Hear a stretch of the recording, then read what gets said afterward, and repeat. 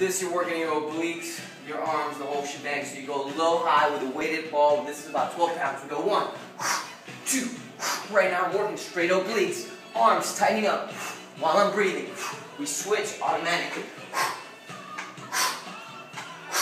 Now if you watch, I'm going to switch again. Look at my lats, they're still working as well. We go one, two, three. We do four sets, 14 to 16 on each side.